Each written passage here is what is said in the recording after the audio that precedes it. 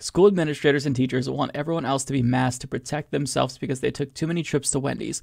What exactly is his point here?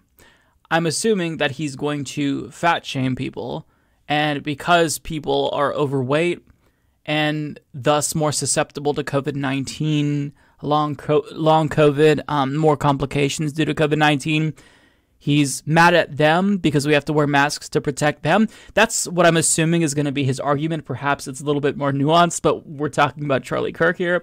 So I wouldn't hold uh, my breath here, but let's go ahead and listen to what he has to say. in Cut 37, saying how children have to choose between masking or foggy glasses, impeding their learning, and how masks aren't worn properly. Oh, please. I Listen, I have a mask, and we're, we're pausing it like two seconds in, 10 seconds in actuality. But um, look, I, I, I have glasses, and when I wear masks, it does fog up. It is annoying, but it's not the end of the world. This is a temporary measure. We'll do this for a little bit just to, you know, get through the pandemic, although it seems like people are already preemptively declaring victory in COVID 19, or, or perhaps admitting defeat and just letting it um, wash through the country. But either way, uh, I'll, I'll, try not to pause it. I, I'm so bad at this, so I apologize, folks. Really, most of the time, anyway. It's also creating subjects, not citizens.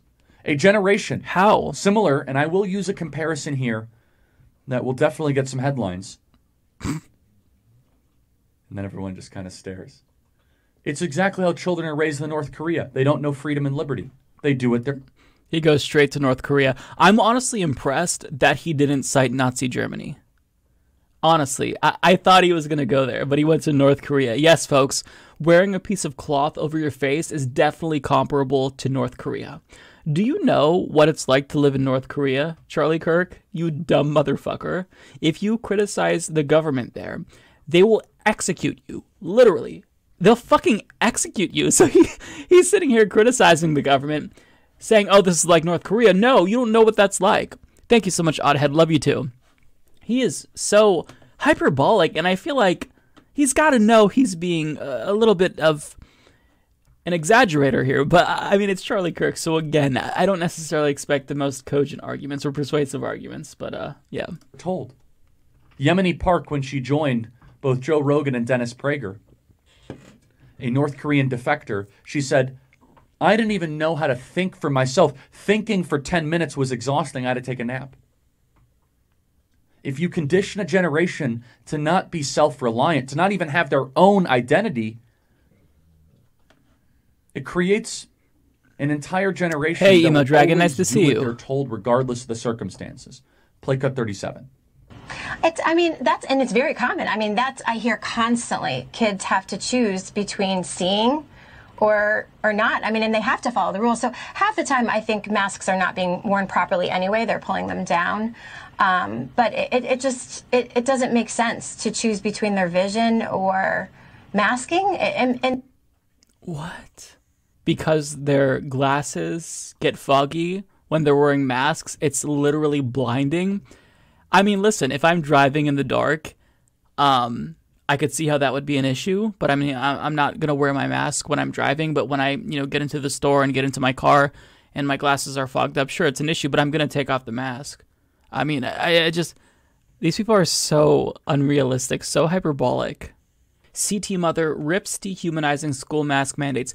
How are they dehumanizing? We all have to do it. These people are such snowflakes. Again, what is this for?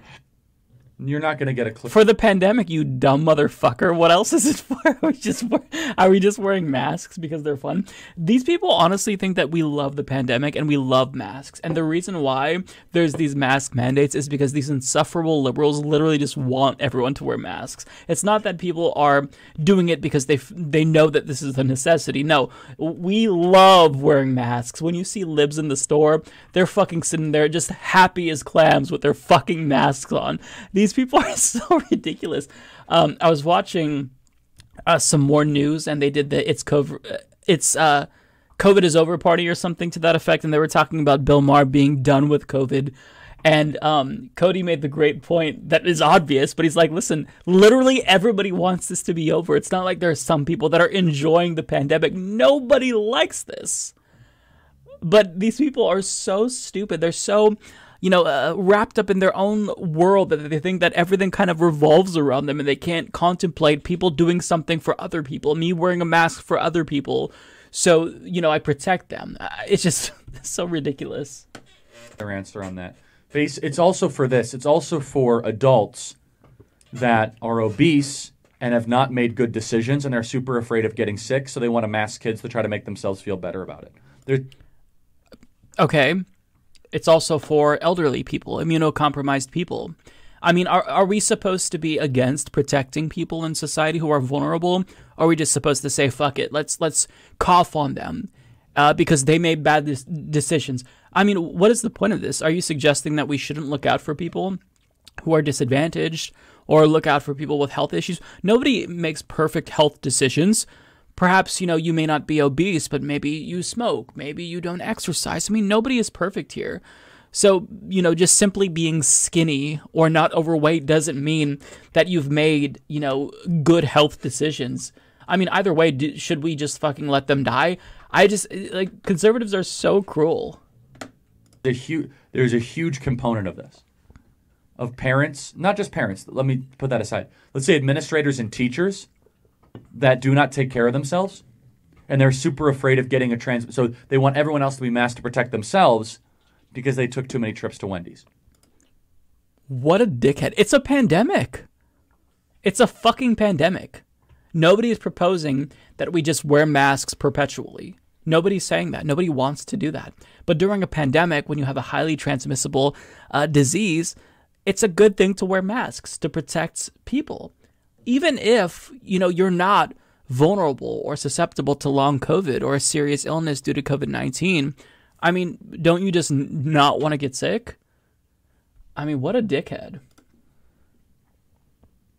destroy the kid's life so you can feel better about yourself what do we have next And this motherfucker eats at Wendy's. You eat fast food. Don't act like you're better than anyone else. So ridiculous. God, conservatives are the most selfish, petulant people on the planet.